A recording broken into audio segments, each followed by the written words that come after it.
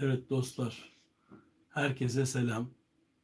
Hepinize iyi akşamlar diliyorum. Çok daha iyiyim şu anda. Ee, sizinle beraber bugün böyle e, değişik bir konuyu inceleyeceğim. E, Dolly'yi anlatacağım, klonlamayı anlatacağım ama biraz daha arkadaşlar gelsin, çoğalsınlar. Ondan sonra e, onlarla e, daha fazla onlara e, bu konuda bilgi vereceğiz. Şimdi teşekkür ediyorum Mert Koç. E, bomba gibiyiz. Allah nazardan saklasın. Düzeldik. Kendimizi çok daha iyi hissediyoruz. Ee, tabii 17 gün kapalıyız biliyorsunuz. 17 gün kapalı olduğumuz için ben de şöyle bir karar verdim.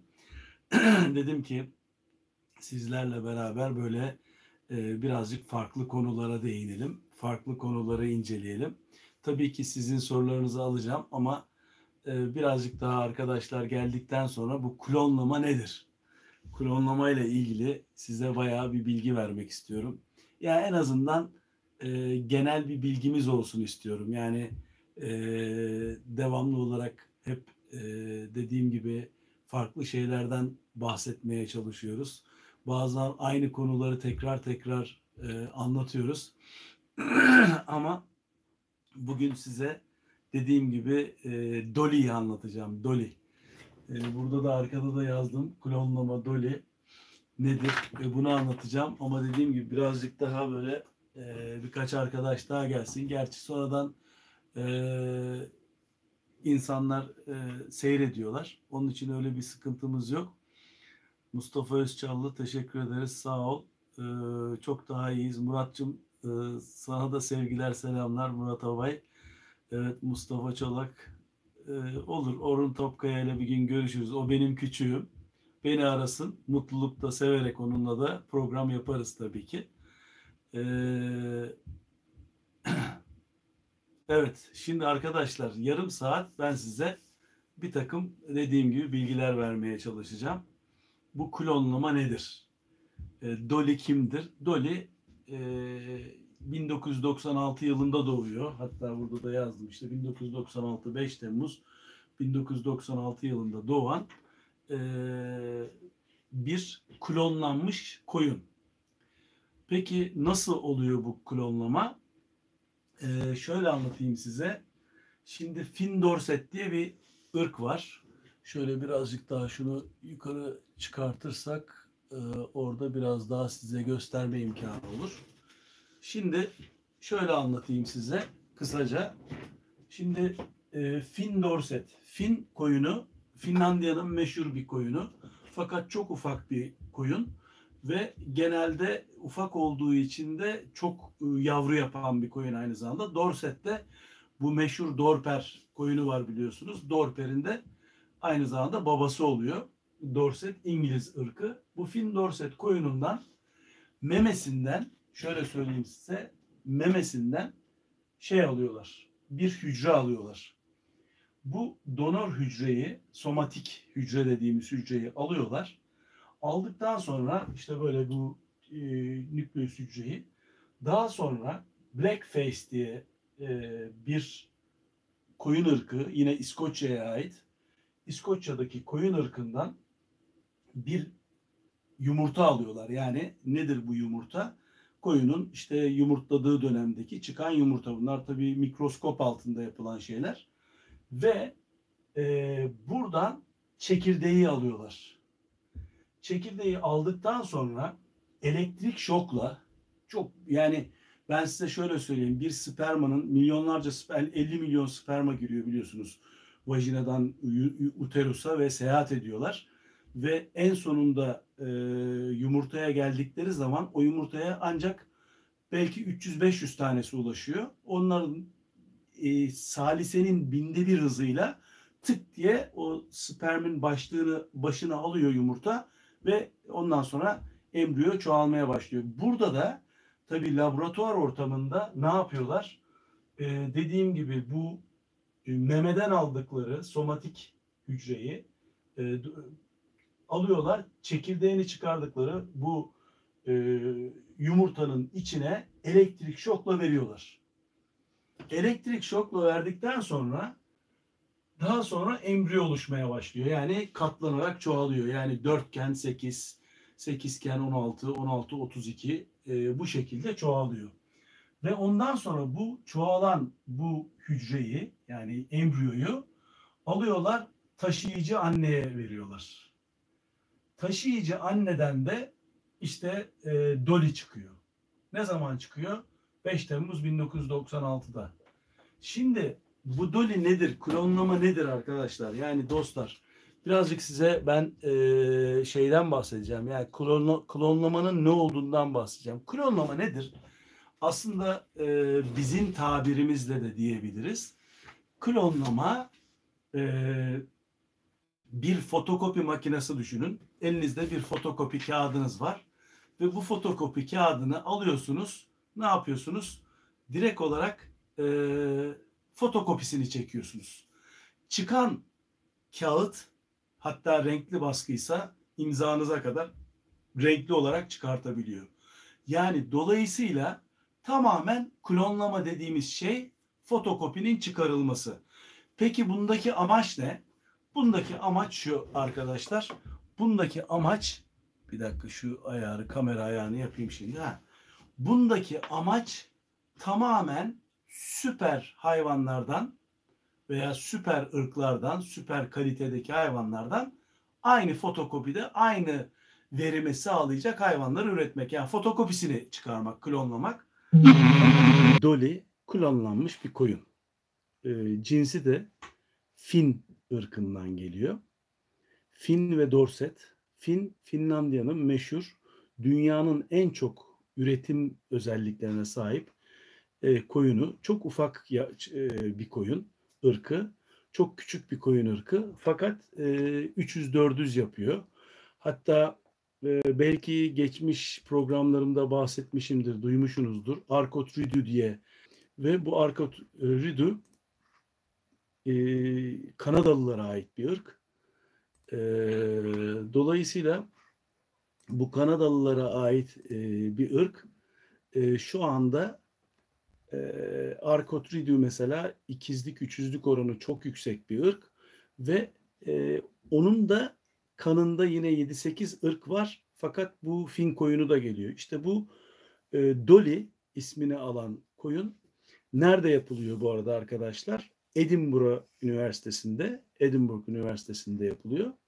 Ve e, bu Edinburgh Üniversitesi'nde e, e, üretilen bu Roslin Enstitüsü var orada. Roslin Enstitüsü'nde yapılıyor. Kusura bakmayın arkadaşlar yani e, birazcık e, problem oldu. Cep telefonundan yine bağlanabildim ancak. Fakat eğer beni telefonla arayanlar olursa maalesef pro, e, gidip geliyor program. İnşallah kimse aramaz bu saatte. Aramamaları için dua ediyorum. Çünkü e, benim şu anda e, genelde e, internet ortamı cep telefonundan, internet daha iyi olduğu için cep telefonundan bağlanmaya çalışıyorum. Sağ ol Tolga Yalçın kardeşim. E, teşekkür ederim. Birazcık karışıklıklar oldu ama umarım e, devam edeceğiz yani bu programı devam edeceğiz şu anda. Şimdi e, tekrar Dolly'e dönüyorum. E, 14 Şubat e, 2003'te de Dolly ölüyor. Yani işte 6-7 yıllık bir yaşam sonunda ölüyor ve insanlar niye Dolly öldü diye böyle bir şey oluyorlar. Yani e, neden öldü, niye öldü, acaba işte klonlama oldu, hani fotokopisi çekildi ondan mı oldu diye. Ve e, şöyle bir şey çıkıyor ortaya. Aslında e, hayvan artrit dediğimiz e, dizlerde e, problem ortaya çıkıyor ve o dizlerde çıkan problemlerden dolayı hayvan artık yürüyemez hale geliyor. İşte hani bizim yaşlarda da artritis olayı var biliyorsunuz. Eklem bozuklukları ve bundan dolayı e, ötenazi yapmak zorunda kalıyorlar. Ötenazi nedir? Uyutmak zorunda kalıyorlar. İğneyle uyutmak zorunda kalıyorlar. Şimdi e, tabii ki ne yapıyorlar ondan sonra? Bu dünyanın en meşhur koyunu olduğu için çok büyük paralar harcanarak yapılıyor. Ve bunu e, bir müzede içini doldurup e, o şekilde e, müzede bir cam mekanın içinde tutuyorlar. Şimdi e, şunu sorabiliriz. Ya bu Dolly hakikaten bu kadar önemli bir e, Turan Dursun 3 aydır peşindesin. Ee, yok yayın devam ediyor. Yayına devam edeceğiz. Şimdi e, dediğim gibi onu müzede tutuyorlar. Yani Dolly'yi müzede tutuyorlar. Fakat e, inanın bana şu anda size resmini gösteremiyorum ama Dolly'nin resmine baktığınız zaman aslında Dolly böyle çok böyle süper bir e, hayvan değil. Sadece bunun tek şeyi klonlama olduğu için. Yani annesinin kopyası. Annesi de bir Fin Dorset ırkı ve bu Fin Dorset ırkından yani o ırktan alınan o e, memeden alınıyor hücre. Tekrarlayayım. Biraz evvel de söylemiştim.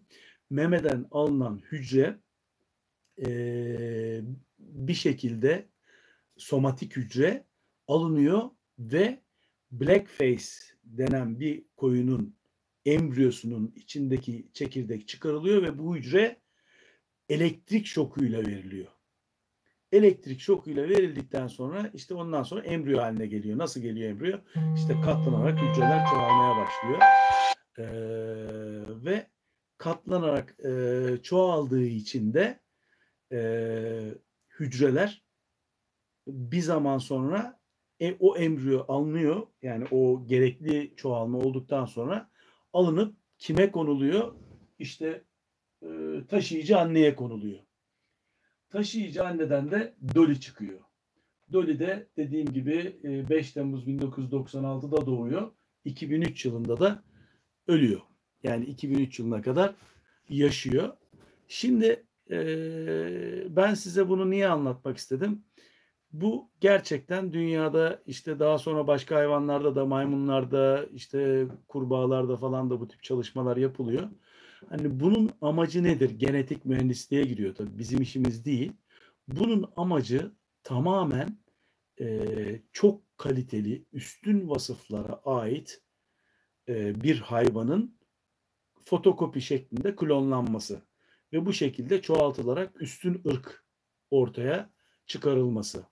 Fakat e, tabii ki maalesef e, bu çok tutmadı. Zaten diğer bir çalışma var biliyorsunuz. Embriyo transplant dediğimiz bir çalışma. Embriyo transplant nedir? Embriyo transplantta e, dişi hayvanların yani koyunun mesela embriyolarının alınıp alınıp embriyolarının alınıp e, daha sonra e, onların tabii bir anne yılda en fazla 2-3 kuzu verebilir. Ama her seferinde flashing yapıyorlar. Yani o yumurtaları özel e, senkronizasyonla yumurtaları alıyorlar. O yumurtaları aldıktan sonra dışarıda laboratuvar ortamında süper işte koçlarla çiftleştirip taşıyıcı annelere koyuyorlar. Yani aradaki fark bu tamamen mevcut hayvanlardan olan e, Mustafa Doğan fin koyunu ithalatı yok. Zaten Pek fin koyununu da tavsiye etmiyorum. Yani sadece size bilgi olarak veriyorum. Yani e, başka fin koyununun çiftleştirilerek çoğaltılması, çoğaltılan hayvanlar var. İşte biliyorsunuz Romanov Türkiye'de çok e, bir ara popüler oldu. Romanov da çok çabuk, çok iyi büyümeyen bir ırk. Aslında derisi için üretilen bir ırk. Fin koyunu da kendi ülkesinde meşhur bir ırk. Tutulan bir ırk ama yani e, baktığınız zaman ırk özelliklerine baktığınız zaman yani bize e, gerekli e, şeyi vermiyor maalesef.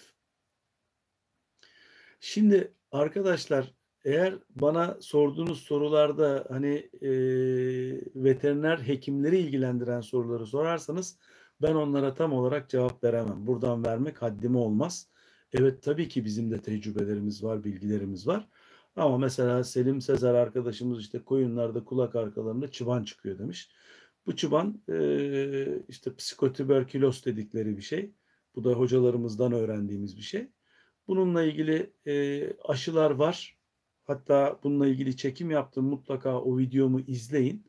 Orada göreceksiniz. O aşılar yapılabilir. 2-3 yıl devam ettiği zaman o aşılarla bu bundan kurtulma imkanını bulursunuz. ya da e, tamamen e, şişip de patlayacak noktaya geldiği zaman kesilip içinin temizlenip işte e, temizlendikten sonra bir takım ilaçları var. Onları veteriner hekimlere sorun. Bana sormayın. Buradan ceza yemeyelim şimdi. Dediğim gibi bizim e, görevimiz e, veterinerlik değil. Şimdi tekrar şu Dolly'yi bitirelim. Meşhur Dolly'yi.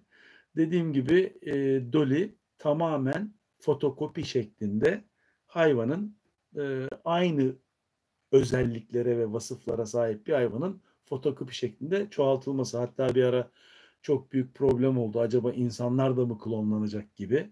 Biliyorsunuz buna benzer böyle e, şey e, bilim kurgu filmleri de yapılıyor. Aslında yapılabilir. Yani insanların da fotokopisi yapılabilir. Fakat ruhu tabii ki kopyalanamaz. Yani insanların e, görüntü olarak fotokopisini yapabilirsin ama e, asla ve asla ruhunu kopyalayamazsın. Onun için e, herkesin farklı bir ruhu var. Gerçi bu yaş taşıdığımız bedenler de neticede e, çöp oluyor. Ruh kalıyor, ruh devam ediyor. E, kısaca e, size Dolly'yi anlatmaya çalıştım. Klonlamanın ne olduğunu anlatmaya çalıştım. Birazcık problemler yaşadık ama en azından size kısa bilgi vermeye çalıştım. Şimdi e, size buradan şöyle yavaş yavaş sorularınızı almaya çalışacağım. Osman Salih Sarıoğlu. Osman Hocam hangi bölümden mezunsunuz? Valla e, ben İngiltere'de ve Amerika'da okudum. E, İngiltere'de Berkshire College of Agricultural. Bunu daha önce de söyledim. Kraliyet bölgesinde bir okulda okudum. E, o bütün çiftçilik yani ot ekiminden ya da hayvan bitkileri ekimlerinden işte hayvan makine ekipmandan aklınıza gelecek her şeye bir çiftçiliği kapsayan yani hayvancılığı ve çiftçiliği kapsayan her konuda. Daha sonra Amerika'da okudum. Amerika'da genetik mühendislik, nötrisyon mühendisliği, e, genel bilimler, süt teknolojileri yani süt inekçiliği üzerine.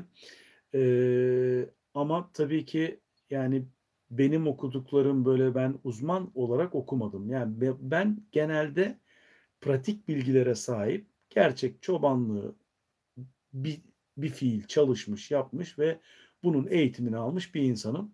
Türkiye'ye geldikten sonra da Türkiye'de hep hayalim böyle hem aldığım bilgileri sizlere vermekti hem de aynı zamanda e, bunları paylaşmak ve sizlere yani ülkeme bir şekilde faydalı olmaktı. Eğer bir nebze faydalı olabiliyorsak ne mutlu bize. Tabii ki biz her şeyi bilmiyoruz. Ama bildiğimiz konuları sizlerle paylaşmaya çalışıyoruz.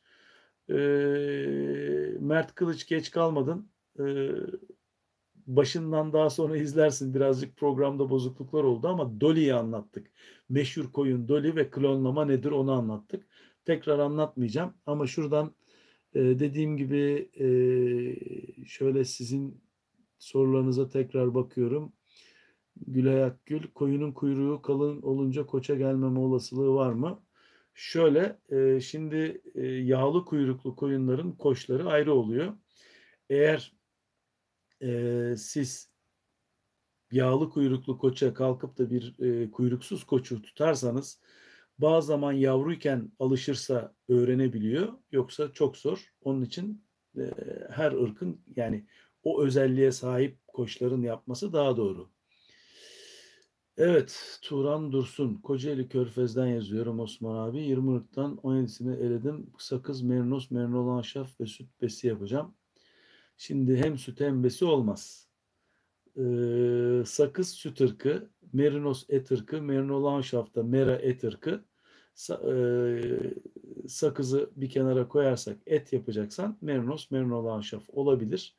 Bunların her ikisi de e, iyi ırklardır. Sakız da iyi ırk. Başka şöyle aşağıya iniyoruz. Mustafa Doğan. Şu an yasaklanmış deneyler tekrardan gündeme kimi ülkelerde çalışmalar gizli gizli yapılıyor. Valla bu konuda hani e, aslında baktığınız zaman dünyadaki gelişimlere eğer insanlar yeni gelişimleri insanlık aleyhine kullanacaklarsa bu tehlikeli tabii ki. Ama insanlığın daha iyi olması için bakın dünya nüfusu çoğalıyor devamlı olarak ve dünya nüfusu çoğaldıkça da tüketim de aynı zamanda e, çoğalıyor. Tüketim çoğaldıkça bizim daha fazla tüketime ihtiyacımız var. Bu arada ne oluyor? Alanlar yani yeşil alanlar gitgide azalıyor. Ve e, teşekkür ederim efendim. Ondan sonra e, alanlar gitgide daralıyor. Daraldığı için e, ne olacak? Bizim daha az alanlarda daha verimli hayvanlara ihtiyacımız var. Bu verimli hayvanları da üretebilmek için genetik çalışmalar oluyor. Mesela Türkiye bundan 30 yıl önce inekte e, yaklaşık 500-600 litreydi ortalama süt ortalaması. Çünkü yerli hayvanlarımız vardı. O zaman Avrupa'da da 5 tonlar civarındaydı. Bugün Avrupa 9-10 tonlara çıktı. E, Türkiye'de de çok iyi artık e, üretimler var. Çok iyi üreten inekler var mesela. Yani genetik çalışma bu şekilde olur ama biz kalkıp da zaman zaman arkadaşlar bana yazıyor işte ben şu ırkla bu ırkı karıştırayım, bu ırkla bu ırkı karıştırayım. Arkadaşlar o bizim görevimiz değil. Biz genetik mühendis değiliz. Yani e, gen sabitleme ve buna benzer şeyleri bizim yapmamız mümkün değil. Evet. Soruları alacağım teker teker. Koyunculukla ilgili bilginin o siz bir, bir, diye bir sorun var sizden. Ortalama cevap vermenizi istiyorum. 8 dönüm arazim var. 100 koyunu buraya salsam tavsiye 8 dönüm arazi 100 koyuna çok ufak olur. Bir zaman sonra toprak kalır. Yani dolayısıyla her zaman söylediğim bir ortalama veriyorum. Bir koyuna bir dönüm. Hadi süper suladın, padokların var. Yarım dönüme kadar belki indirebilirsin. Hatta bazı meralarda 3-4 dönüme bir koyun e, ancak otlayabilir. Yani 8 dönüm yeterli olmaz. Evet. E, şöyle devam edelim. Ekrem Sökmen İzmir'den selamlar. Ee, teşekkür ederim. 15 gündür kuzumun ağzı yara olmuş. Ektima. Ee, Valla dediğim gibi bakın e, veteriner hekim sorularına ne olur bana sormayın. Bizim görevimiz değil. Ama bunun ilaçları var. Eğer e, giderseniz zaten gösterirseniz hemen e, bununla ilgili çalışmalar olur. E, devamlı işte temizlemek, sprey yapmak lazım. İğneleri var. İğneleri yapmak lazım. Ama bakın e, gerçekten söyleyeyim biz buradan tedaviyle ilgili bilgi verme zaten ben veteriner hekim değilim. Kaldı ki veteriner hekimler bile buradan veremezler size tedavi. Onun için bu tip soruları mümkün olduğu kadar sormamaya çalışın.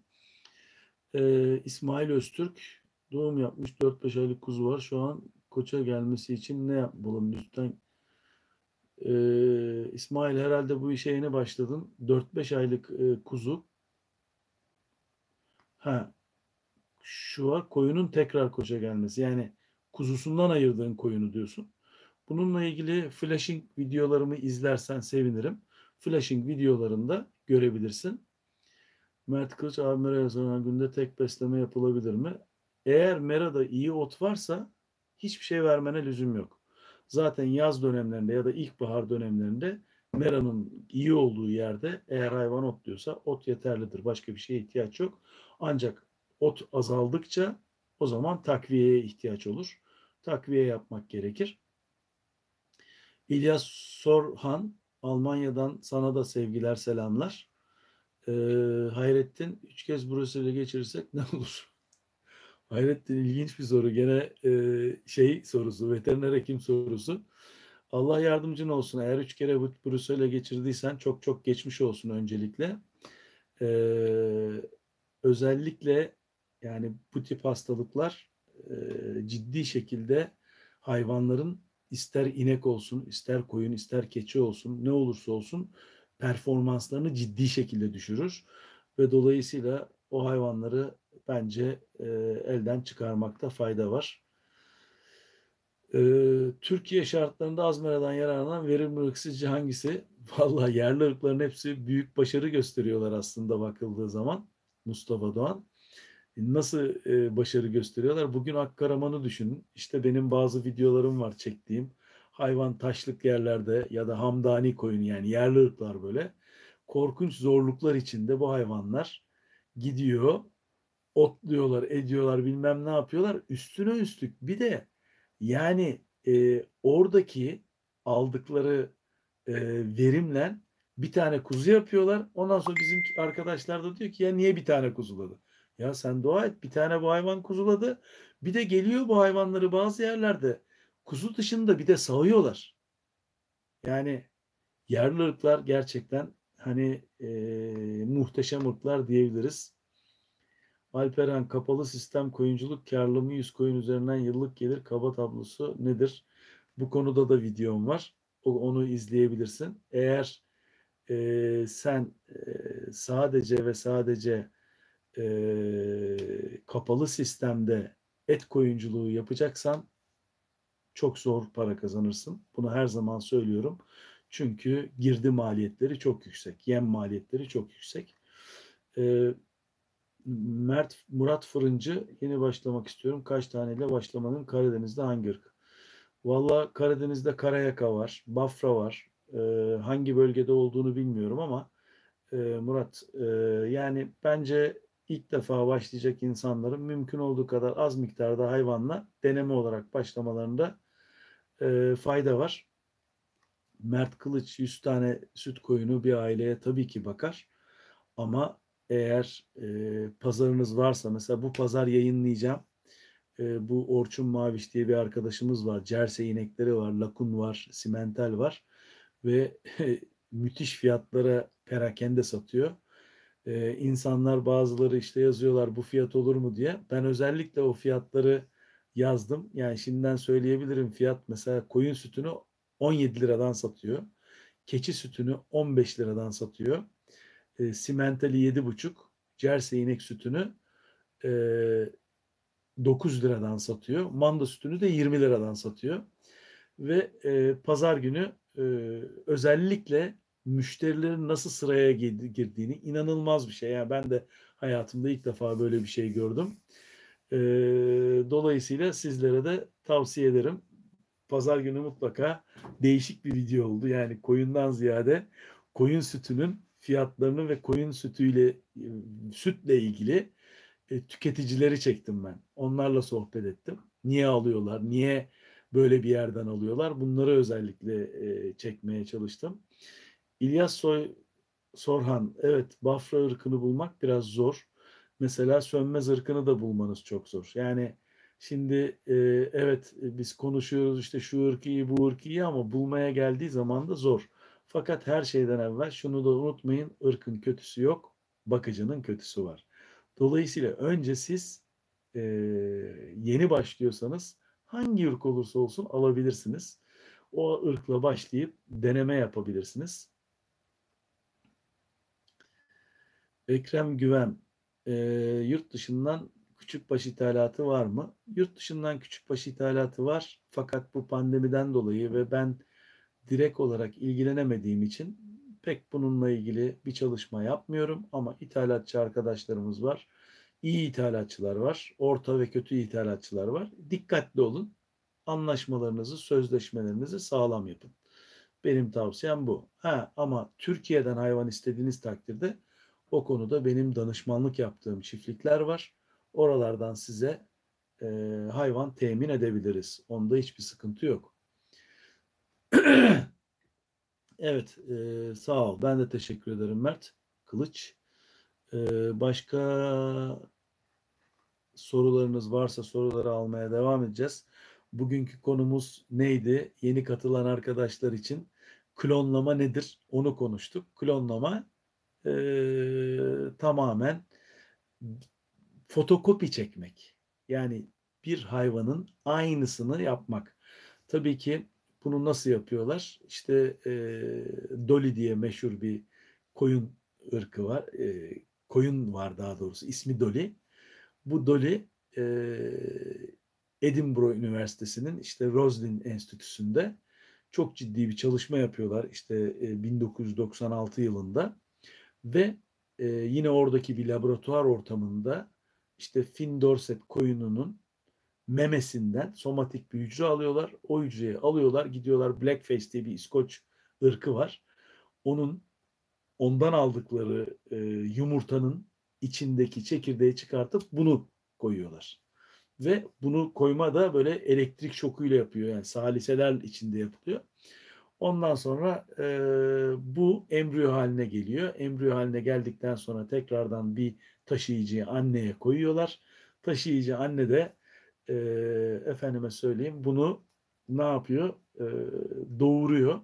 Doğurduktan sonra işte 1996 yılında çok meşhur bütün her dünya yazdı. Yani ilk defa böyle bir olay olmuştu klonlama olayı. Hani embriyo transplantı ben mesela 1982 yılında mezun olmadan önce İngiltere'de embriyo transplantın fizibilitesi üzerine bir çalışma yapmıştım.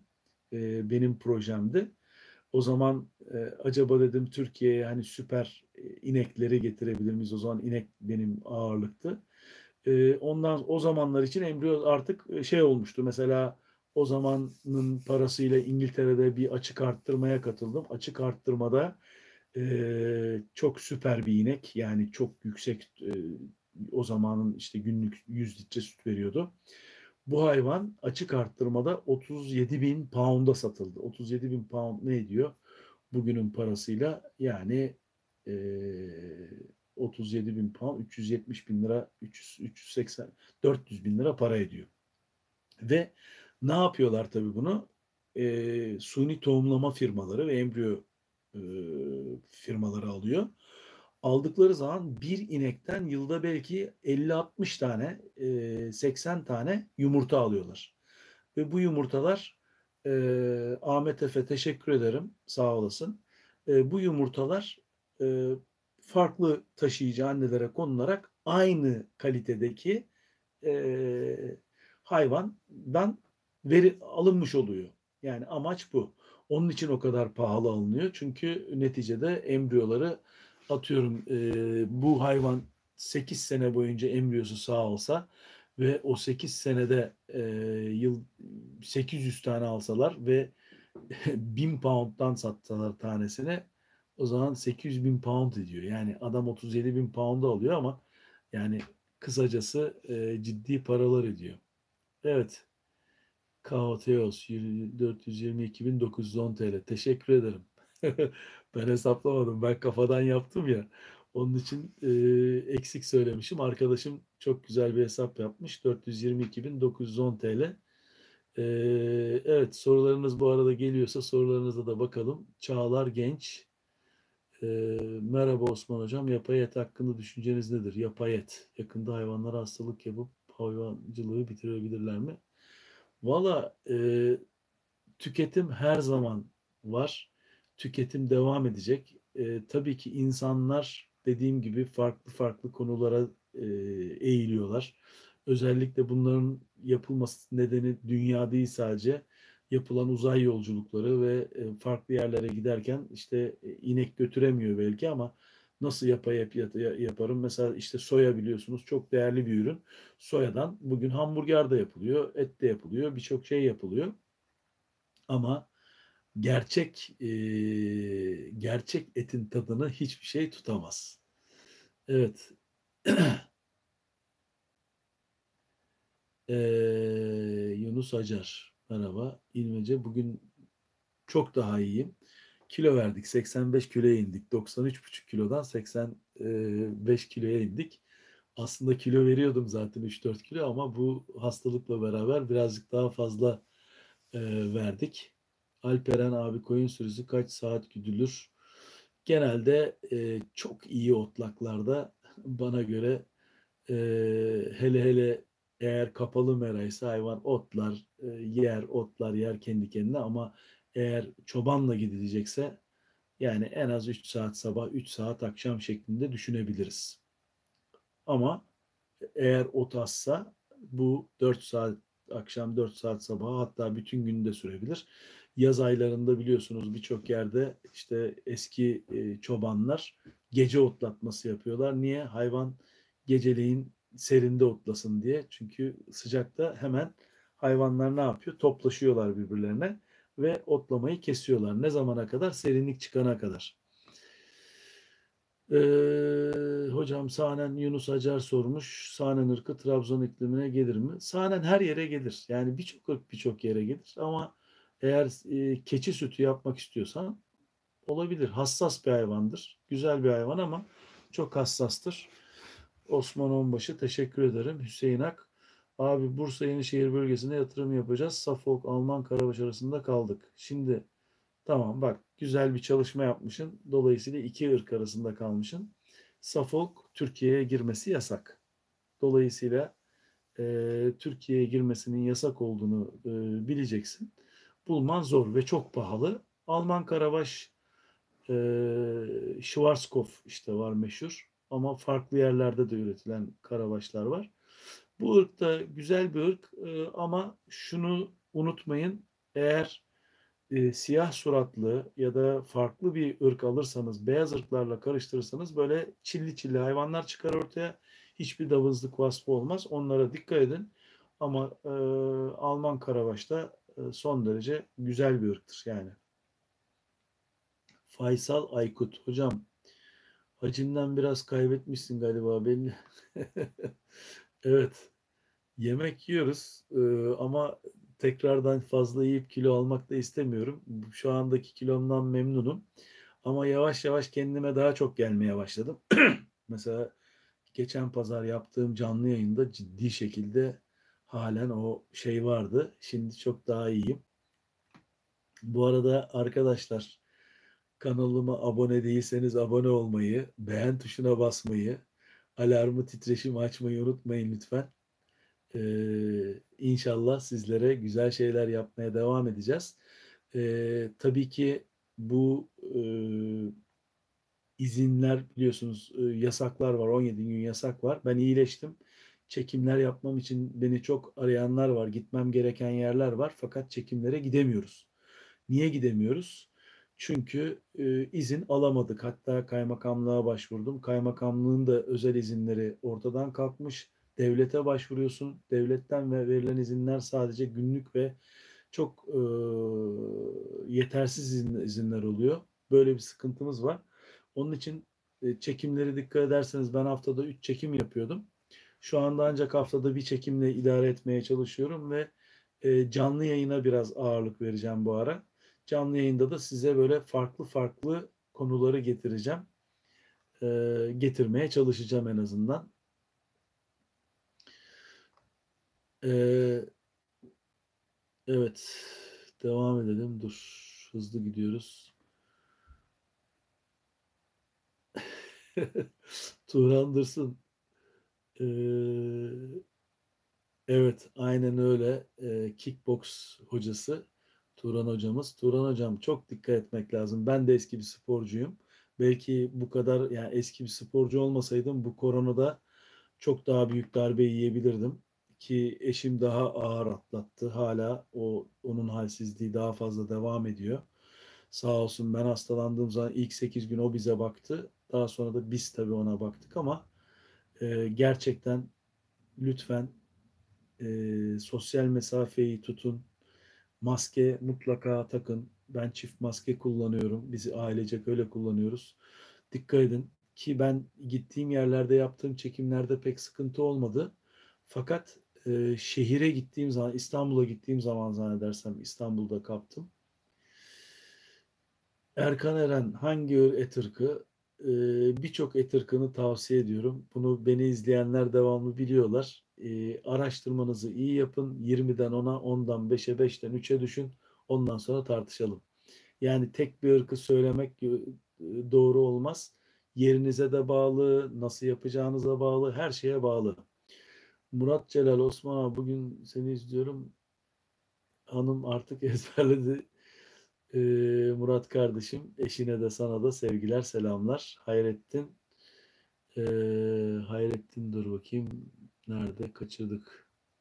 Hayrettin'i kaçırdık. Çok hızlı gidiyor bu bazı zaman böyle bakarken. Şöyle İlmece Gerger bir buçuk yıldır Almanya'dayım. Arsa bulup koyun alamıyorum. Burada 39 Euro'dan cins kuzular başlıyor. Çok iyi. Bence Almanya'da yaşayan arkadaşların zaten Türkiye'de gelip yapma yerine orada koyunculuk yapsalar çok daha iyi olur. Mustafa Özçallı, Osman abi mera problem meraya götürecek çobanı bulmak daha büyük problem. Tarlamıza regras türevleri ve ekip hayvanları getirsek fayda çok daha iyi olur. Ryegrass özellikle dediğim gibi İngiliz çimi yani perennial ryegrass düşünebilirsiniz. Ee, eğer meran zaten araziniz küçükse araziyi ekip biçerek vermeniz daha iyi olur ya da konsantre besleme dedikleri yani arazinizi çevirip önüne tel koyuyorsunuz.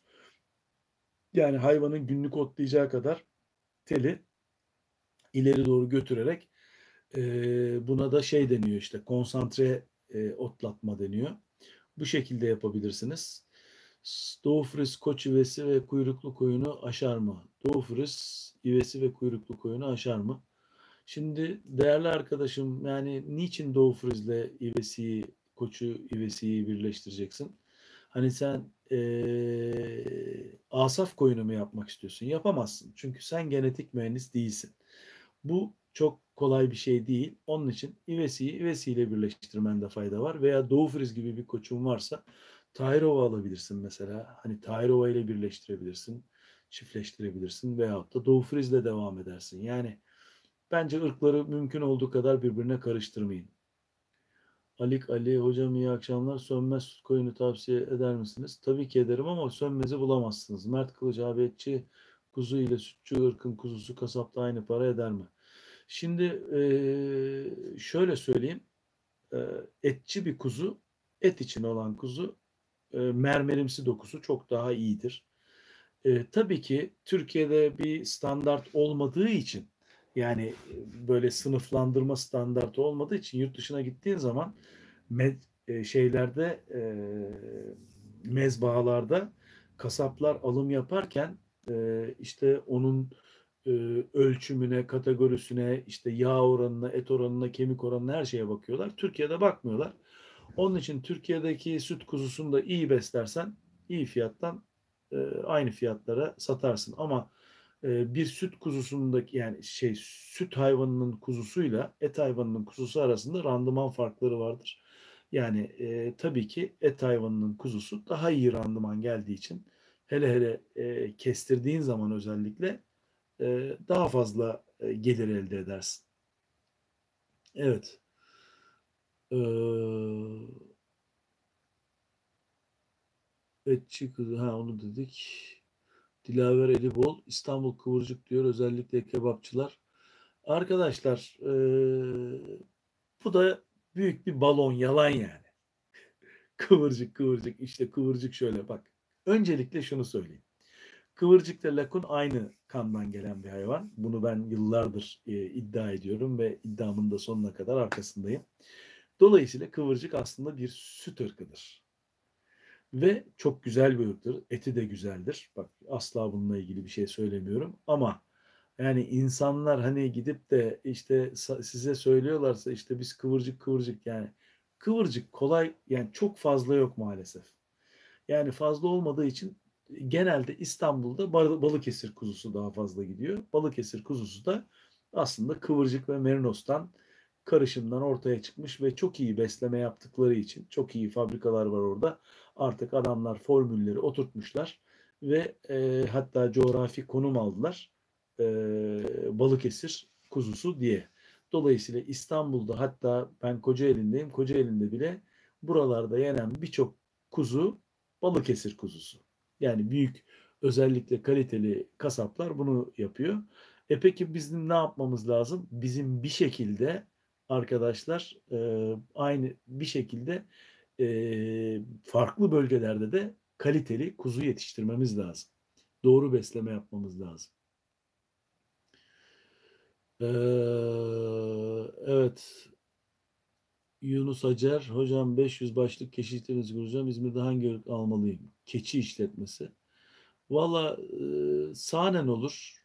Yani e, süt için Yunus Acar kardeşimiz sahnen olur. Eğer bulabilirsen ya da yurt dışından getirtmen lazım. Onun dışında Türkiye'de işte Honamlı var, Halep keçisi var, Maltız keşke bulabilsem. Maltız çok değerli bir ırk.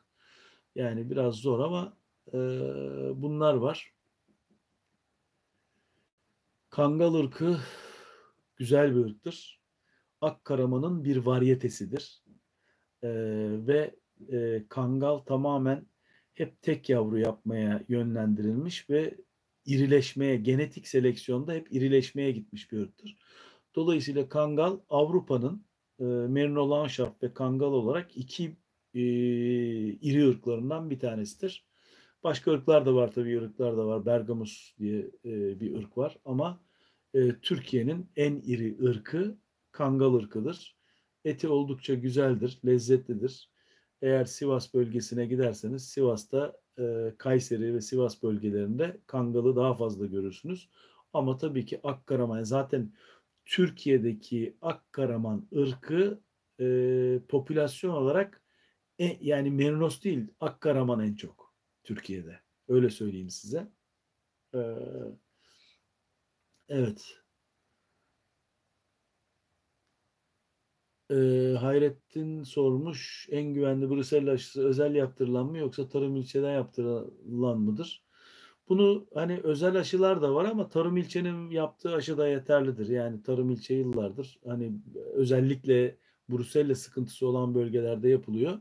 Ama Bruselle'yi ne zaman yaptıracağınız çok önemli. Onun için de benim e, hocalarımla çektiğim koyun protokolleri var. O koyun protokollerini mutlaka e, mutlaka ve mutlaka izleyin. Orada gerekli bilgiler var. Ne zaman aşı yaptırmanız lazım, ne zaman nasıl yaptırmanız lazım bunlar çok önemli.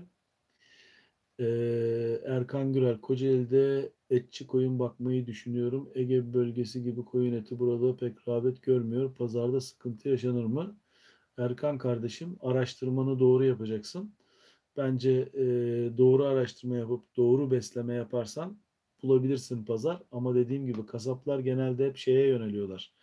E, genelde hep işte Balıkesir kuzusuna yöneliyor. Orada da sistemi öyle bir oturtmuşlar ki hayvan parçalanıyor geliyor. İşte bazı kasap sadece kol alıyor. Bazı kasap sadece işte e, but alıyor gibi. Yani öyle de satışları var. Yani bakman lazım. Kaotios kendi yemini yetiştirerek hayvancılık yapmak için koyun başına kaç metrekare ekim gerekir? Ee, kendi yemini yetiştireceksen de e, yine daha önce söylediğim gibi bir dönüme bir koyun olarak hesaplarsak yani mero olarak yapmasanız dahi e, bu şekilde hesaplamak daha doğru ama e, tabii ki bu intensif e, tarım yapılarak bu belki 500 metrekareye koyun başı düşürülebilir. Mert Kılıç abi bazı koyun sürüleri halinde olmuyor deniyor. Bir nedeni var mı? Abi bazı koyunlar sürü halinde olmuyor deniyor. E tabi e, şimdi bazı prolifik ırklar var. Bunları sürü şeklinde e, zorlanabilirsiniz. Gerçi zaman içinde onlar da belki alışıyor ama bazı ırklar çok e, işte genetik olarak e, çiftleştirilmiş farklı ırklar oluşturmuş. İşte Ile-de-France, Berrichon Düşer e, gibi ırklar. Mesela Ile-de-France mera yayılımı çok böyle iyi değil ama süper bir hayvan yani şey olarak e, randıman olarak e, büyüme olarak ama zor bir hayvan. E, birazcık yabanilikleri de var. Bir de Avrupa'dan gelen hayvanlar devamlı kendi kendilerine yaşadıkları için bizim buradaki gibi kontrol altında olmuyorlar ve e, dolayısıyla bu tip e, sıkıntılar oluyor. Mevlüt Çetinkaya sana da selamlar. İngiltere'den Mevlüt kardeşimiz bize selam verdi. E, sana da selam olsun. Ladaum koyunu nasıl ırktır? Ladaum. Ladaum. İlk defa duydum çağrı. Onu açman lazım ya da bakmam lazım. Yani hiç e, Ladaum diye bir ırk duymadım. Her şeyi de bile, bilemeyebiliyoruz. Bizim de bilmediğimiz birçok şeyler çıkıyor. E, dolayısıyla yani e, biz de dediğim gibi bilemeyebiliyoruz. Evet. Tekrar şöyle bakıyorum yani kaçırdığım bir şey var mı? Ee, sizlerden gelen soruları e, cevaplamaya devam edeceğiz. Artık bu Ramazan sohbetlerini bu şekilde e, devam ettireceğiz. E, Gökhan Türk Yılmaz, Trakyalıyım hocam. Sizce sakız koyunu mu yoksa merinos koyunu mu daha tercih edilmeli? Şimdi e, ikisi de farklı ırk. Merinos et ırkı, sakız süt ırkı bir koyun. Hani e, ben mesela tercih etsem şahsi olarak sütünü sağdığım bir koyunu tercih ederdim. Sütünü sağarak yani evet e, sakız çok hızlı büyüyen bir ırk değil ama eğer sağarsanız ve doğru bakarsanız Eee, çok rahat, eee, daha iyi verim alabilirsiniz. Ancak meranız da varsa ve merada otlatma yapabiliyorsanız o zaman, eee, et merinos da çok, eee, sizin için değerli olabilir. Baki Demir, çadır ağıllarla ilgili bilgi verebilir misiniz? Çadır ağıllarla. Şimdi, eee, çadır Türkiye'de birçok çadır firması var ve, eee, çadır firmaları, eee, bazıları çok başarılı, bazıları, eee, sıkıntılar yaşanıyor. Ya, ben maalesef, işte, karda çökmüş, rüzgarda uçmuş birçok çadır da gördüm ama çok kaliteli yapılmış, çelik konstrüksiyonu çok iyi çadırlar da gördüm. Dolayısıyla, eee, çadır olabilir, maliyeti daha düşük. Gerçi son dönemde biraz maliyetlerini yükselttiler. Eee, ben ahır olarak mesela tahta ahırları çok beğeniyorum. Ya, tahtadan yapılan ahırları. Onunla ilgili biliyorsunuz çekimlerim var.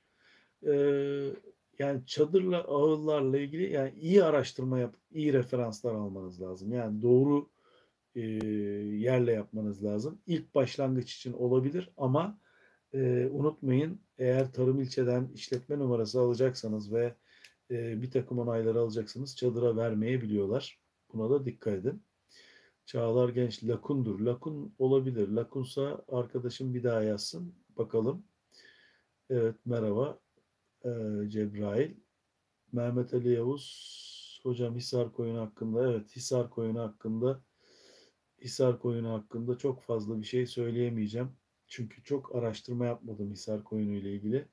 Zaten bazı ırklar maalesef eee, çok az var. Onun için onlarla ilgili çok fazla bir şey söyleyemiyorum. Yani Hisar koyununu duydum ama söyleyeceğim bilgi yetersiz olacağı için o konuda bir şey söylemek istemiyorum. Çadır mı beton mu? Ee, as Mert Kılıç asla beton değil. Çadır ya da tahta ya da e, prefabrik sistemler olabilir. Yani zaten hayvanınızı mümkün olduğu kadar içeride değil dışarıda tutmanız lazım. Yani içeride tutmaya lüzum yok. Muhammed Doğan hocam 3 tane kıvırcık damızlık koyun aldım. Yeniyim 22 yaşındayım. Ee, Muhammed sana nasıl tavsiye edelim? Başarılar diliyorum sana. Bak bakalım yavaş yavaş kendini yetiştir. Öğren. Doğurtmayı öğren. Çoğaltmayı öğren. Bence doğru yapmışsın. Yani 3 tane koyunla başlamışsın. İnşallah çok başarılı olursun. Mahmut Kabul Osman Bey yeni akım Ebru Hanım'ın anarom koyun yetiştiği hakkında daha önce hiç yorumunuz denk gelmedim. Anarom hakkında düşüncelerinizi öğrenebilir miyim? Anarom bir tiplemedir. Bu Ebru hocamızın bana söylediği kadarıyla. Evet Ebru Hoca yıllardır bu konuda çalışma yapıyor. Çok değerli bir hocamızdır. Ee, çok da sevdiğim bir hocamızdır. Ee, ancak anarom e, daha bir ırk değildir. Tiplemedir. Bu hocamın da dediği kadarıyla. Onun için çok fazla hani e, o yorum yapamayacağım. Hocamızın anlatması çok daha önemli. Ee, bir dakika bakayım. Selamünaleyküm. Isparta Hayvancılık Motorlog Blok Güller Diyarından selamlar. Size de selamlar. Evet Isparta Tarım Hayvancılık Güller Diyarı. Isparta ile ilgili hemen şunu söyleyeyim. Ben iki kere hayatımda umre yaptım. Gittiğim zaman orada e, her sene e, Isparta'nın gül suyuyla e, Mekke'deki o e, siyah kadife örtü tamamen onunla yıkanıp onunla e, o zamanlar yapılıyordu ve müthiş güzel bir koku kokuyordu Isparta'dan ama halen devam ediyor mu bilmiyorum. Bu konuyu da sizinle paylaşmak istedim bu vesileyle. Ee, Bay James Cocktails'den çok bilgi aldım. İnşallah bu sayede sizden alacağım bilgi herkesle paylaşmanız çok mükemmel. Teşekkür ederim. Murat Erzurum. Hocam Kırşehir'de hangi ırkı öneriyorsunuz? Her ırkı öneririm dediğim gibi bölge bölge böyle sorduğunuz zaman hani e, sadece bir ırkı önermiyoruz. Onun için birçok ırkları önerebiliyoruz. Alper Eren 8 dönüm ekili araziye koyun salmak ve 50 dönümlere takviye o, o tekniği düşünüyorum. Sizce nasıl? Şimdi e, 8 dönüm araziye dediğim gibi 100 tane koyunu salarsan çok çabuk e, kaybedersin. Toprak oluşur. Onun için e, ha, en, takviye 50 dönümlere çıkarsan o zaman farklı bir noktaya gelirsin. Alperen. Hüseyin Ak. Evet Safok çok pahalı fakat kısa kalın bacaklar meşhur. TR'de onların Mera'da gidebileceğine inanmıyorum. Türkiye'de onların Mera'da gidebileceğine inanmıyorum. Şimdi zaten e, eğer yurt dışına baktığınız zaman birçok ırk yurt dışında kapalı meralarda hayvan otluyor, yatıyor. Otluyor, yatıyor. Güneşte de kalıyor, şeyde de kalıyor. Hiçbir mahsur yok. Kışın kar üstünde böyle bu kadar kar oluyor. Hiçbir sıkıntı yaşamıyor. Ama Türkiye'de biz e, çobanla otlatmak zorundayız. Çünkü Türkiye'de neler var? Çakal var, kurt var, tilki var, e, sokak köpekleri var. Hani herkes bunu söylemiyor ama ben söyleyeyim sokak köpekleri de bizim için yırtıcı hayvan artık. Yani özellikle meralarda dolaşan hayvanlar. Artı bir de e, iki bacaklı şeyler var. Çakallar, hırsızlar var. Bunların hepsi için bizim maalesef çobana ihtiyacımız var. Ama zaman içinde bu çoban olayından inşallah kurtulacağız. Yani Shiv Mangal, Pandey, hi. Yes, I can speak English, but uh, this is uh, a Turkish program, so live program. So, uh, but if you have any questions, you can ask me. I can answer you through email or something. Bir arkadaşımız geldi. Ya Türk değil ya bilmiyorum. İngilizce söyleyebilir misin dedi. Ben de onun için öyle bir şeyi tekrarladım. Yanlış anlamayın lütfen. Ee, Osman Hoca da ya söylüyorum eninde sonunda benim gibi bir tekstilci hayvancılığa başlatacaksınız. Türkiye'nin geleceği tarım ve hayvancılıkta. Valla iyi düşünün. Başlarken de ben hiçbir zaman sadece hayvancılığı tavsiye etmiyorum. Yani kimsenin para kaybetmesini de istemiyorum. Ama bu bir sevgi meselesi. Bu bir aşk. Ee, yani ben mesela şu anda işte e, 60 yaşına geldim Tabii ki ben hala yapmayı düşünüyorum ve yapacağım da inşallah. Ee, burada bazı sorunlarım var. Onları çözmem lazım. Kocaeli bölgesine biliyorsunuz e, yeni taşındık sayılır. Babam vefatından sonra bizim de ufak bir çiftliğimiz var. O çiftliği e, sorunları var. Veraset sorunları, şunlar bunlar. Onları çözüp bir şekilde e, koyunculuk yapacağım. Sadece koyunculuk değil tabii benim kafamda başka şeyler de var.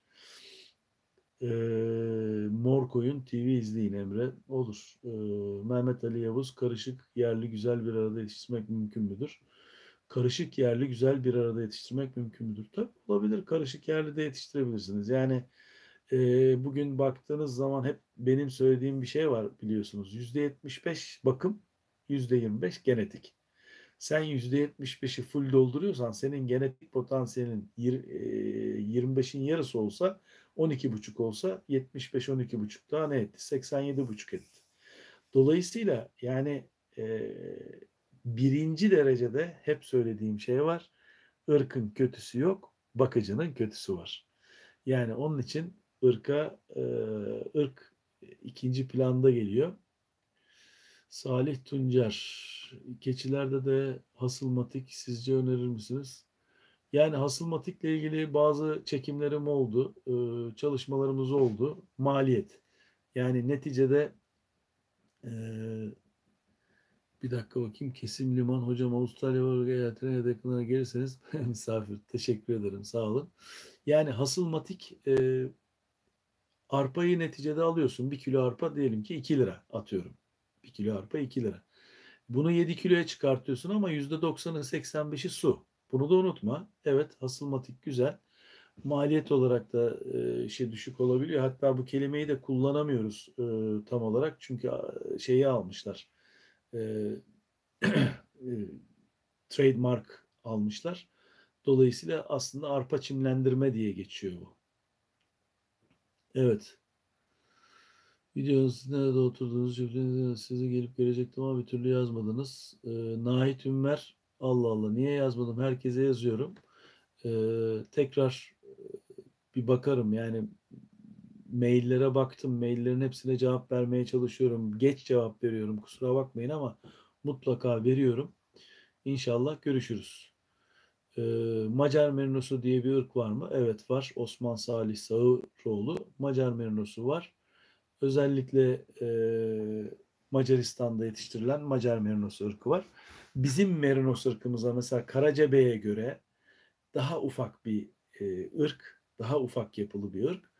İşte onu da ben eskiden şey tavsiye ediyordum. Mesela işte Macar Merinos'u aldıysanız Macar Merinos'una işte Merino Landschaft gibi bir ırkı e, yani koçu katarak ırkı büyütebilirsiniz. Çünkü neticede hepsi yani Berişon düşer, Ile-de-France, Merino Landschaft, Macar Merinosu, Karacabey Merinosu, Anadolu Merinosu, Polatlı Merinosu bunların hepsi Merinos ırkları.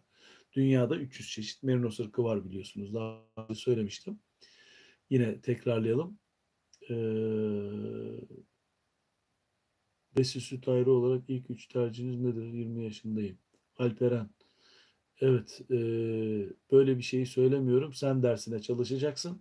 Sen ondan sonra bana beğendiğin ırkları söyleyeceksin. Kasım Liman, Avustralya. Evet. Teşekkür ediyorum. İnşallah bir gün gene Avusturya'ya geliriz. Nurettin Gündüz, Los Angeles'tan selamlar. Los Angeles'a selamlar. Ee, gidip geldiğimiz yerde zamanında orada e, 50 yıl 60 yıl teyzem yaşadı. Los Angeles'ta hala çok değerli arkadaşlarım var. Buradan selam olsun. Maceracı Kerem. Hocam iki koyun topallıyor. bir yaş ondan mı? Biraz yaş ondan mı? E tabi yaşlılarsa e, çok daha iyi beslemek lazım gerekiyor. E, beslemeyle e, belki hani e, düzeltebilirsin. E, böyle bir sıkıntı var. Çağrı, Senegal, Ladoum. Ha, Senegal koyunu. Evet, tamam. Yani Senegal koyunu demişsin. Ya Çağrı kardeşim, dünyada 2000 çeşit koyun ırkı var. Bunların hepsini bizim bilmemiz zaten mümkün değil. Dolayısıyla e, yani tek söyleyebileceğim şey bunu çok sordular bana Senegal işte görüntüsü bilmem nesi falan. Yani bence lüzum yok. Maceraya lüzum yok. Hani hayvanat bahçesi gibi butik olarak yapmak istiyorsak olabilir ama bence bence lüzum yok. O kadar güzel ırklarımız var ki. Hem yurt dışından gelen güzel ırklar var. Bir de yerli ırklarımız da çok güzel. Bence buna lüzum yok. Muhammed Gedik, Bafra ve Sönmez koyunlu memnun olan Şapkoç tavsiye eder misin? Etmem. Ee, Bafra, yani eğer saf ırkın varsa asla ve asla başka ırktan koç katma. Ama e, karışık bir ırkın var ve bir ırka yönelmek istiyorsan mesela diyelim ki elinde merinos var. Ben merino lanşaf üretmek istiyorum dedin. Tamam onu çiftleştir. Aldığın dişi kuzuları tekrar merino lanşafa tut. Tekrar tut, tekrar tut. Ne oluyor? F1, F2, F3, dördüncü nesilde zaten %98 civarında saflaştırmış oluyorsun. Evet Kerem kuzularımızı en iyi şekilde nasıl büyütebiliriz? Güzel. Benim kuzu besleme videomu mutlaka izleyin. Orada bir kuzunun en iyi şekilde nasıl beslendiğini anlatıyorum. Çünkü buradan anlatmaya kalkarsak uzun sürer şimdi. Aynı şeyleri tekrarlamamış olalım.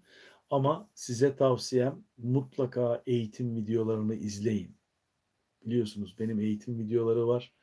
O sadece kendi bilgim yok içinde hocalarımla yaptığım bakın Uludağ Üniversitesi'nden e, Konya Selçuk Üniversitesi'nden İstanbul Üniversitesi Veterinerlik Fakültesinden işte Erzurum e, Atatürk Üniversitesi'nden birçok yerden konuştuğumuz hocalarımız var.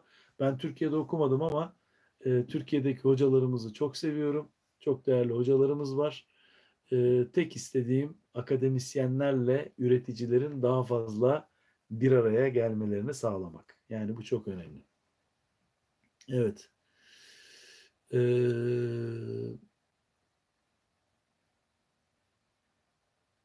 hocam Bafra koyunu bulamıyorum. Kara, kara yaka sürüme sakız koç salsam olmaz. Sen yapamazsın. Mutlaka bulursun. Az miktarda al ve e, Bafra koyunu gerçekten güzel bir koyun. Tavsiye ederim ama Bulamıyorsan da farklı ırklara yönelebilirsin. Serkan Aydın, selamlar. Tanca Gökçeada, Karya Koyunu hakkında. Ha, Serkan Aydın. Buradan e, Çanakkale Koyun Keçi Birliği Başkanı'na ve Genel Sekreterine selamlarımı iletiyorum. E, Bekir kardeşimiz var orada Genel Sekreter. E, inşallah bakalım Mayıs ayı, ayı gibi Gökçeada'ya gideceğim ve bu Karya Koyununu ve Gökçeada'daki o meşhur koyunları çekmeye çalışacağım. Allah nasip eder inşallah. Bu pandemi sürecinde e, ne kadar kapanacağız belli değil. Dolayısıyla eğer e, kapanmazsak mutlaka e, böyle bir şeyi düşünüyorum. Osman Salih Sağaroğlu kişisel olarak sevdiğin yerli ve yabancı koyun ırkları nedir hocam? Vallahi ben bütün ırkları seviyorum. Yani şöyle bir şey yani çok etkileniyorum. Mesela bir bölgeye gidiyorum.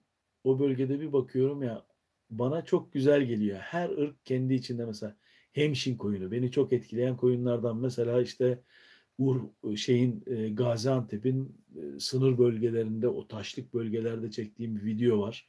Taşların içinde hayvan yaşıyor. Hamdani koyunu. Doğru dürüst bakmıyorlar hayvanlara.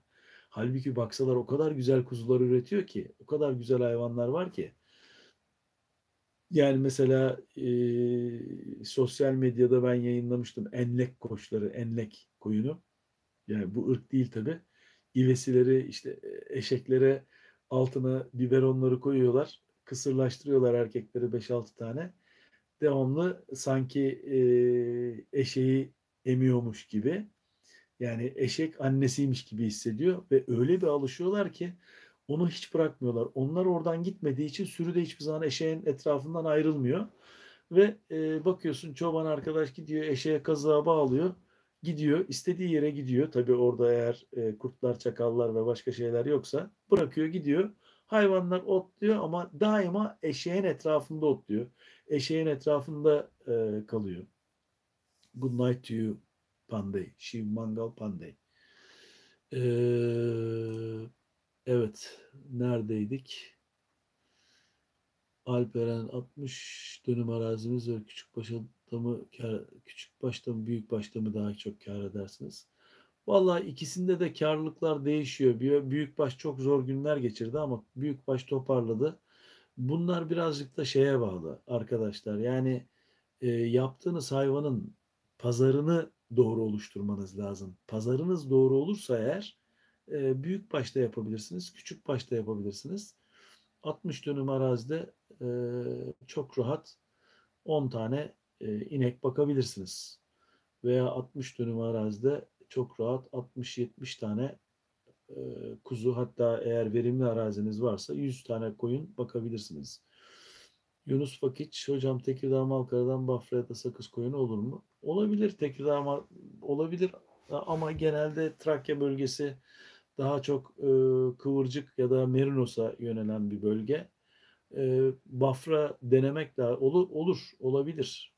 Bafra çok güzel bir ırk ama çoğaltamıyoruz maalesef. Yani Türkiye'de bazı ırkları da istediğimiz gibi çoğaltamıyoruz. Solaz aşısı ne zaman yapılır? Solaz. Ee, solazı ilk defa duydum. Evet, e, bu arada Yunus Fakiç geçmiş olsun demiş. Teşekkür ediyorum. Sağ ol. Çok çok teşekkürler. Shiv Mangal Pandey. E, sana da good night. Maceracı Kerem hocam mermer tuzu kullanmaya başladık. Faydasını görür müyüz? Mermer tuzu sadece kalsiyum için verilen bir şey. Yani çok çok büyük faydasını rasyon yapıyorsanız, rasyonun içine koyduysanız e, yani rasyonun çok çok çok çok küçük bir parçası özel bir faydasını görmeyeceksiniz. Ama kalsiyuma katkısı olur. Ee, Ömer Gecü, hayırlı geceler hocam. Sizi iyi gördüğüme sevindim. Teşekkür ederim. Sağ olasın. Muhammed Gedik, yarı kapalı yarı açık şekilde yapay merada bakılacak sönmez ve Basra koyunu alıp Bafra koyuna kuzu için hangi cins koç verimli olur? Teşekkürler. Ee, hangi bu iki ırkı da alıyorsan bunun kendi koçunu kullanacaksın. Başka e, kullanmayacaksın. Metin Yıldız teşekkür ederiz. Her zaman bekleriz. Teşekkür ederim. Ee, sağ olasın Metin Yıldız. Evet, e, Alp Eren ne demiş? Hocam Burdur'da genelde Merinos tercih edilir. Sizin öneriniz var mı? Merinos da iyi bir ırk. Yani Merinos tutulan bir ırk. Yani et ırkı. E, soğulu aşısı ne zaman yapılır? Soğulu aşısı diye bir şey bilmiyorum. Cahilliğimi e, bağışlayın. Yani dediğim gibi her şeyi bilmek zorunda değilim. Soğula diye bir aşıyı ilk defa duydum. Yani belki farklı kullanılıyor farklı yerlerde. Onun için eee, bilemiyorum. Bak tekrar sormuşum. Sormana lüzum yok. Gördüm. Ama bilmiyorum. Evet, eee, özellikle bu eee, Covid geçirdiğimiz zaman bol bol su içmemiz lazım. Günde eee, en az 3 litre, 4 litre içmemiz lazım ama ben 2,5-3 litreyi zor buluyorum. Eee, çok daha iyiyiz. Teşekkür ederim. Ciğerlerle ilgili her gün işte kan sulandırıcı iğne oluyorum. Artı iki antibiyotik, kortizonlar, şunlar bunlar. İnşallah obez olmayız. Kilo verdik ama yani inşallah obeze gitmeyiz. Ee, Sezai Sert teşekkür ederim. Sağ olasın. Evet. e, bu akşam canlı yayında biraz sıkıntı yaşadık ama e, devam edeceğiz. Yani e, çok çabuk böyle e, bitmesi için bir şey yapmayacağım. Programı devam edeceğiz. Sizin sorularınız oldukça o sorulara cevap vermeye çalışacağım. E, bol bol canlı yayın yapmaya çalışacağım. Çünkü dediğim gibi çekim yapamıyoruz. E, özellikle pazara da yeni bir konu bulmaya çalışacağım. Benim sizden ricam konuları bana yazarsanız e, bir şekilde bana mesaj atarsanız konularla ilgili ben de onları not alırım ve e, o konuları e, sizlerle e, en azından işte canlı yayının ilk e, Kerem D vitamini devamlı alıyorum. O çok önemli. Covid için C vitamini çok önemli. D vitamini çok önemli. Dolayısıyla e, birçok kişi de bu arada öneriler yazdı. O önerilerin hepsini e, yapmaya kalksak herhalde e, zehirlenmeden giderdik. Ama çok iyi bir doktorumuz var burada. Göğüs doktoru e, Birol Bey Kocaeli bölgesinde. E, bize inanılmaz ilgilendi ve e, toparlanmamızda çok büyük etken oldu. Teşekkür ediyorum. Bu arada tabii Hayrabolu Belediye Başkanı, yıllarca Hayrabolu'da yaşadım. Belediye Başkanı Doktor Osman İnan. Bizim aynı zamanda belediye başkanı olmadan önce aile doktorumuzdu. Sağ olsun o da her zaman ne zaman e, arasak mesajla ya da telefonla bize çok bilgi verdi. Bizi çok yönlendirdi. Allah razı olsun. Bu arada e, tekrar söyleyeyim sizlerden gelen bütün o güzel mesajlar bizi daha motive etti. Hepinize ayrı ayrı teşekkür ediyorum. E, sıfırdan kalkınmış hayvancılarla ders mahiyetinde sohbetler yapılırsa yani e, Dilaver sıfırdan kalkınmış hayvancılarla sıfırdan başlayan hayvancılarla demek istiyorsun. Zaten bu konuda bilgi veriyoruz ama e, yani dediğim gibi şöyle iki konuyu ayırmamız lazım. Eğitim videolarında zaten bunların çoğu var. Benim tavsiyem özellikle bizim ne yapmaya çalışacağız? İşte bu e, kapalı olduğumuz yasaklanan dönemde ve e, Ramazan döneminde e, kısa bir konudan bahsedip ondan sonra işte soru cevap şeklinde sohbet yapacağız. Yani sohbetin amacı da hem sizlerden gelen mesajları okuyorum. İşte hem sizlerden bilgi almaya çalışıyorum. İlker Gür. Hocam küçük işletmeler için geleceği nasıl görüyorsunuz? Ee, onu kaçırmıştım. Onu gördüm şimdi. Şöyle söyleyeyim. Bana göre Türkiye'nin geleceği küçük aile işletmelerinde. Bakın çobanlık çok büyük sorun oluyor. Çoban bulmak gitgide zorlaşacak. Çoban maliyetleri yükselecek ve e, ben çoban maliyetinin yüksekliğinden rahatsız değilim ama çobanın anlamayan çobanın maliyetinin yüksekliğinden rahatsızım. Bak çobanın maliyetinden rahatsız değilim. Anlamayan çobanın maliyetinden rahatsızım. Dolayısıyla e, küçük aile işletmeleri özellikle e, eşinin, karı, e, çoluğunun, çocuğunun beraber yaptığı işletmeler çok ön plana çıkacak. Alperen 100 besi koyun için mera açık ya da yıllık gelir gider nasıl olur? Aya vursak kazancımız hangi rakamları bulur? Bununla ilgili çok güzel videom var. Onu seyredebilirsin abi tavsiye ederim. Dilaver sıfırdan ha onu söyledik. Oğuzhan Solak Safok girişinin yasak olması sence doğru bir karar mı Osman abi? Oğuzhan Solak sormuş. Ee, şimdi ben onu e, şöyle devletlerin şöyle bir şeyi var. Genelde kontrol edemedikleri şeyi yasaklamayı tercih ediyorlar. Yani Türkiye o kadar Safok adı altında Karabaş, Merinos melezleri, ondan sonra işte e, Cigay diye bir ırk var. Macar ırkı mesela benziyor. Safok diye bunları Türkiye'ye çok getirdiler. Sonra işte İngiltere'de Suffolk'la ilgili bir hastalık var diye çıktı. Bütün bunlardan e, devlet de tedirgin oldu. Dolayısıyla yasakladı. E, Suffolk evet dünyadaki en iyi et ırklarından bir tanesi. Gerçi bazı ülkelerden mesela Amerika yavaş yavaş Suffolk'tan çıkıyor. Ama e, Suffolk çok güzel bir ırk. Yani iyi Suffolk. İki çeşit, üç çeşit Suffolk var mesela. Nasıl Merinosların çeşit çeşidi varsa Suffolk'ların da var. Bir İngiliz Suffolk'u var. İşte kalın bacak, kısa e, cab var. Ondan sonra bir Avrupa ve Amerika Suffolk'ları var. Bunlar daha iri, daha sallı. Avustralya Suffolk'u da daha iri, daha sallı.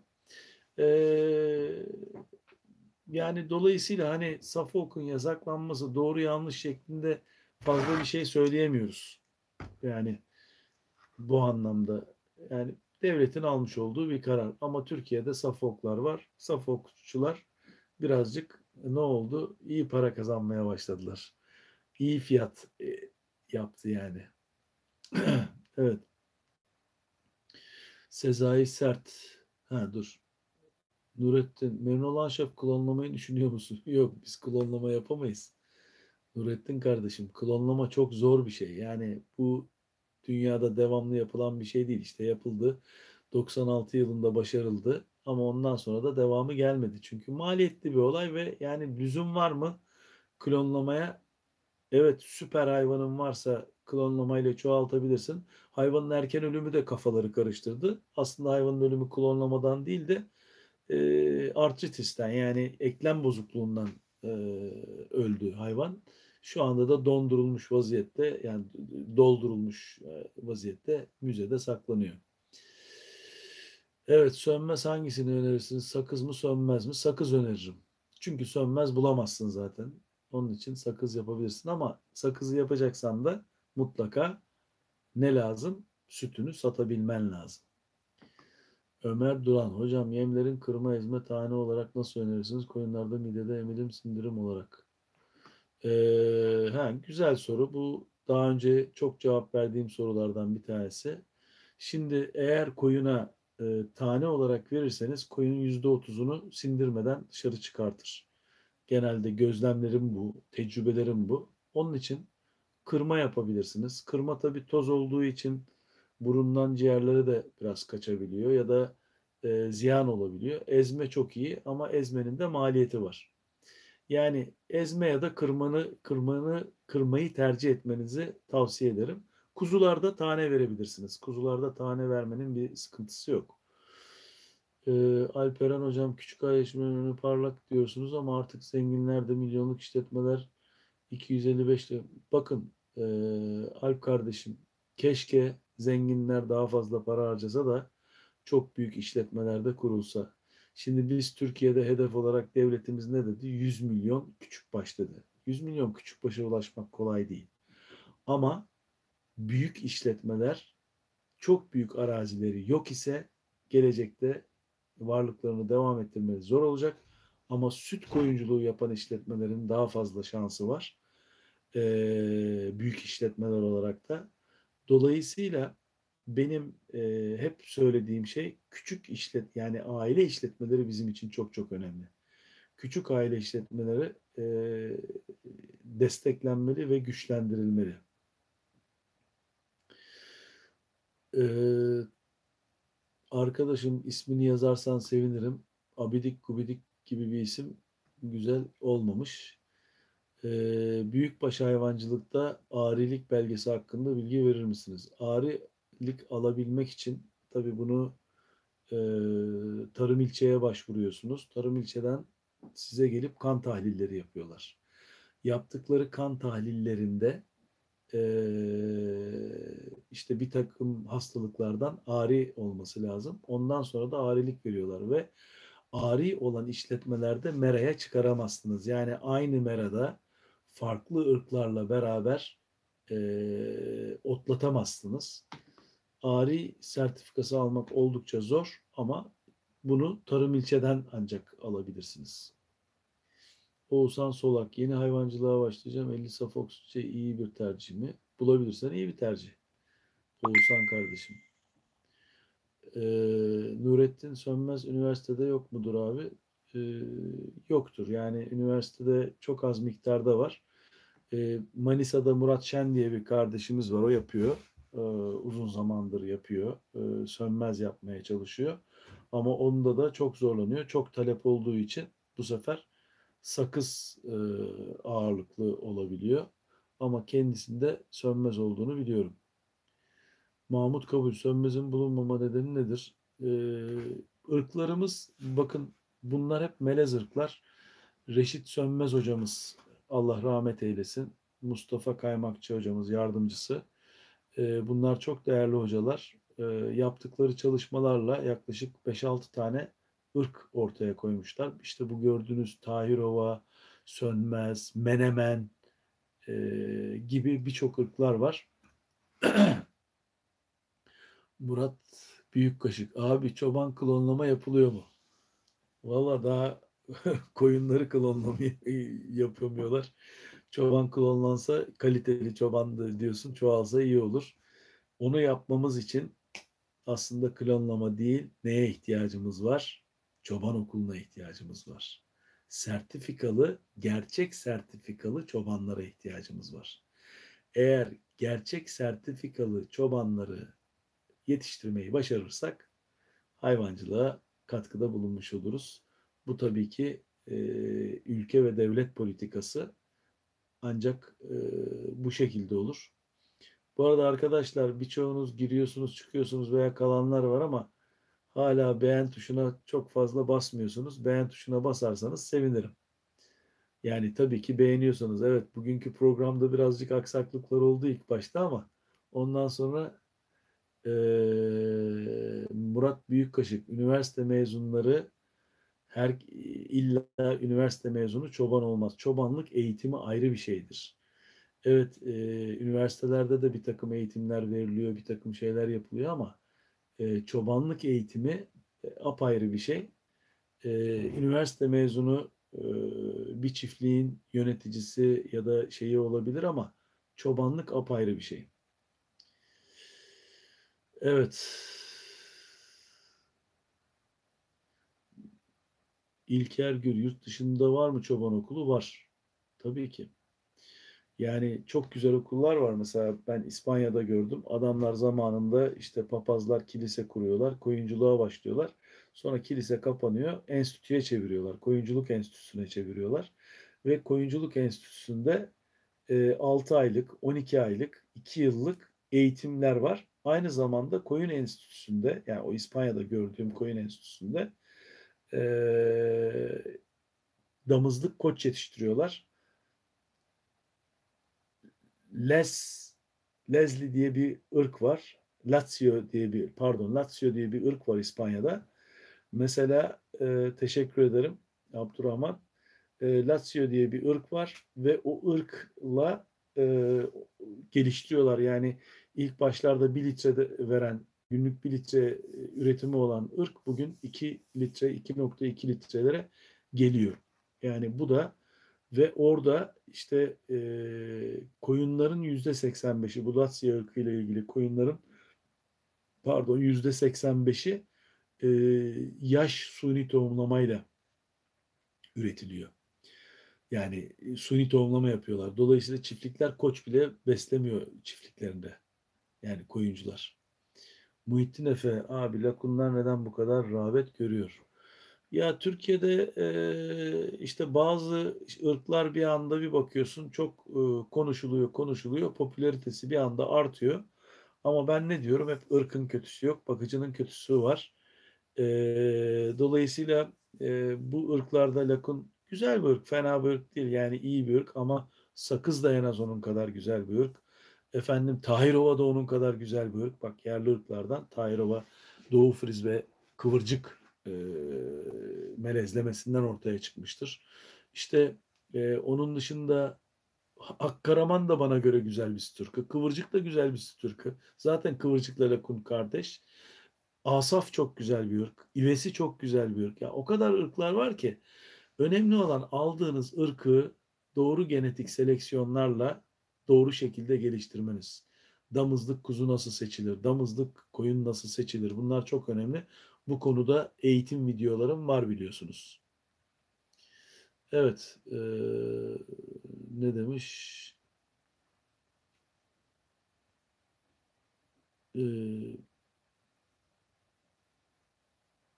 Macit Vural. Abi Karacabey Merinosu yapmayı düşünüyorum. İkizlik oranı nedir? Karacabey Merinosu'nda ikizlik oranları %50 civarlarındadır. Ama yine genetik seleksiyonlarla bu e, ikizlik oranı ve doğru flashinglerle yükseltilebilir. Alperen bu hayvancılık sektörüne başlayan hakkını veren birisi arasında hayvanların donanımlarını traktöre sahip iş sahasını genişletebilir küçük işletmeyi büyük hale getirebilir mi? Getirebilir ama çok çalışması lazım. Her şeyi kendisinin yapması lazım. Ömer Gece, ülkemizde çobanlık eğitimi sertifikası veriliyor mu? Evet, e, çobanlık sertifikası veriliyor ama bu bir haftalık eğitimler, beş günlük eğitim tarım ilçeler tarafından yapılıyor. Fakat o eğitimin hani hiçbir faydası yok. Yani çok sığ bir eğitim öyle söyleyeyim size. Ama çobanlık sertifikası aldığın zaman sana ne faydası oluyor? İşte kredi alırken veya bağışlardan yararlanırken artı puan getiriyor sana. Hamdani hocam Siirt için Hamdani koyunu çok güzel bir koyun. Kuyruklu bir koyun. Ee, hani dediğim gibi her ırk doğru flashingle ikizlik oranı çok rahatlıkla yükseltilebilir. Bunu unutmamak lazım. Hamdani de güzel bir ırk yani. Çok detay veremeyeceğim bu konuda. E, koyun keçi birliklerinde ızlah danışmanı neden olmuyor? Bazı e, koyun keçi birliklerinde var, bazılarında yok. E, bazıları çok güzel ıslah çalışmaları yapıyorlar. Mesela e, bu Karayaka koyunu ile ilgili ıslah çalışmaları var. İşte Ordu'da var. Ondan sonra Çanakkale'de Tahirova ile ilgili ıslah çalışmaları var. E, Trakya'da Merinos'la ilgili e, ondan sonra Trakya'da mesela şeyde e, Kırklar elinde kıvırcıkla ilgili ıslah çalışmaları var. Yani bazı bölgelerde ıslah mesela e, Uşak koyunu ile ilgili ıslah çalışmaları var. E, evet arkadaşlar pilimiz de bitmeye başladı. Yani e, biraz daha sorulara cevap vereceğim. Ondan sonra kapatacağız. Yani kendi kapanacak yani şeyim cep telefonu. O, onu duran hocam size fark yaratacak özgün küçük baş işletmeler nasıl olmalı önerirsiniz? Ha, dur bir dakika ya. Şuna ee, şeyi takabilsek belki e, şarjı çoğaltabiliriz. O zaman biraz daha uzatabiliriz. Şöyle özür diliyorum. Heh, vallahi yaptık. Şimdi bakayım. Evet. Yok.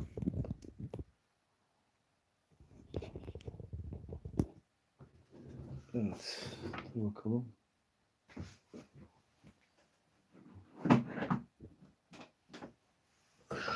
Şarj ediyor mu? Maalesef şarj ettiremedik. Evet. Neyse yapacak bir şey yok. Bu arada sorularınıza devam edeyim. Ne dedik? Fark yaratacak özgün küçük baş nasıl olmalı? Ne öner neler önerirsiniz? Şimdi ha, Murat Büyükkaşık 5 milyon boşta gezen ille devlet memuru olmaya çalışan ünlü mezunları her birine bir koyun verelim mi? Olur. Keşke verebilsek ama herkesi koyuncu yapamayız.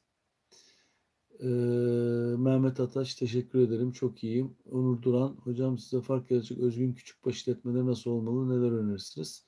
Onur bu uzun bir soru. Yani e, zaten çekimler yapıyoruz. Yani iyi işletmeleri de göstermeye çalışıyoruz. Dolayısıyla böyle buradan bunu anlatmam biraz uzun sürebilir.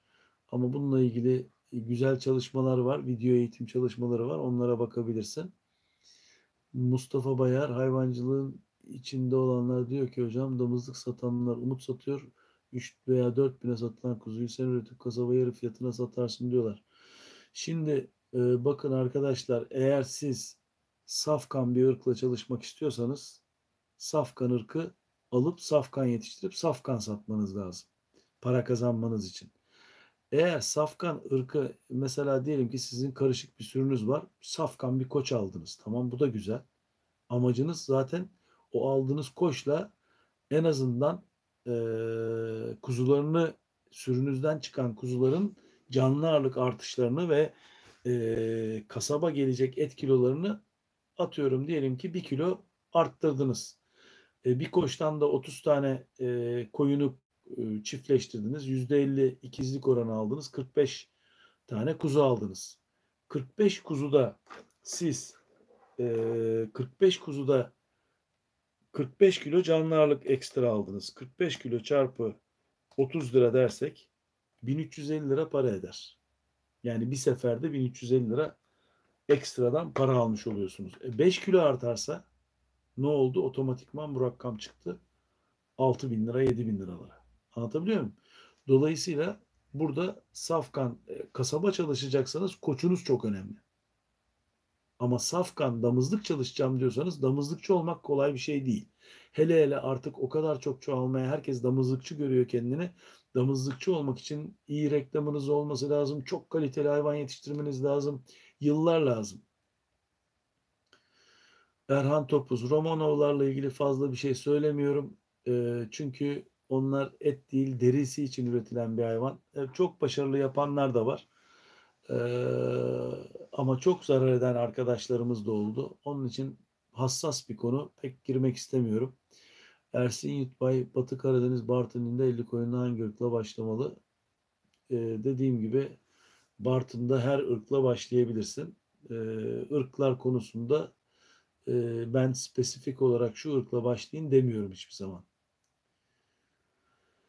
İlker Gür, kasaplık rasyon kuzusu, kuzu rasyonum var. Bunu kuzu protokolünde ya da kuzu beslemede görebilirsin.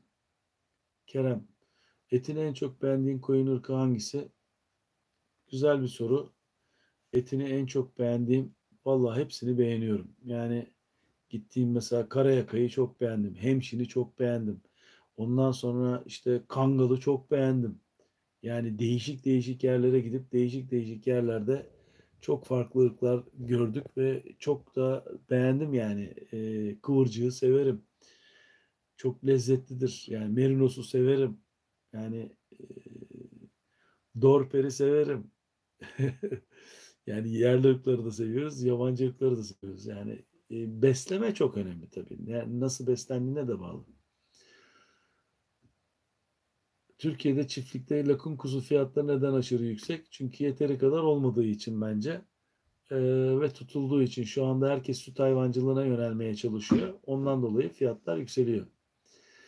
Murat Büyükaşık abi hayvancılık yapanlara yapacaklara mutlaka marangozluk kursu verilmeli doğru. Mekanik kursu da verilmeli bence. Muhittin Efe Kayseri'ye ayalıya olur mu lakun? Olur e, adapte de olur. Mehmet Kabul. Hocam bir program dinlediğim dikkatimi çekti. Koç damızlığında ikiz üç seç, seçilirken büyük başta boğa adaylarının kesinlikle ikiz eşi olamaz şeklinde seyretmiştim. E, aynen katılıyorum. E, boğalarda ikizlikten önemli değil. Bu zaten ineklerin biz iki yavru değil tek yavru yapmasını istiyoruz. Yani öyle bir şey yok. Evet ikiz yapanlar var ama ikiz yapanlarda eğer biri erkek biri dişi olursa bunlarda üretkenlik bozuklukları yüzde otuzunda oluyor. Buna da Blue Martin diyorlar. Blue Martin. Dolayısıyla tabii ki koçlarımızı 300 eşinden seçmemiz çok daha önemli. Ama 300 eşi derken de hiç hastalık görmemiş, ondan sonra e, bunun yanında çok canlı ağırlık artışı iyi olmuş. Annesi yavrularına iyi bakmış. Yani lütfen benim o damızlık seçim, kuzu seçimiyle ilgili videomu izleyin. Hocam Merinos'a geçmek istiyorum Onur Şekerci. Meram yok. Meran yoksa etlik hayvan bakman çok zor. Onu söyleyeyim. Süt hayvancılığına yönelmen lazım.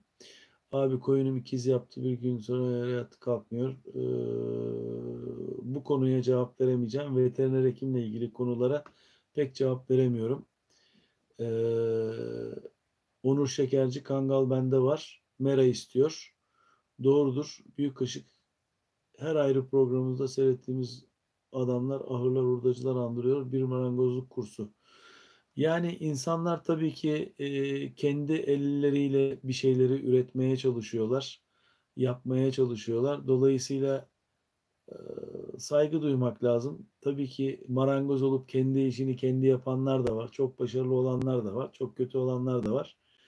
Evet arkadaşlar e, bir programın sonuna geldik. Gerçekten e, biraz sıkıntı yaşadık ama umarım size e, farklı bilgi vermişimdir. Bir sonraki programda buluşacağız inşallah. Canlı yayın yapacağız. Evet, hep her zaman olduğu gibi e, bu programda da eğer abone değilseniz abone olmayı, e, beğeniyorsanız videolarımı beğen tuşuna basmayı ve titreşimi açmayı unutmayın lütfen. Hepinize sevgiler, selamlar, iyi akşamlar.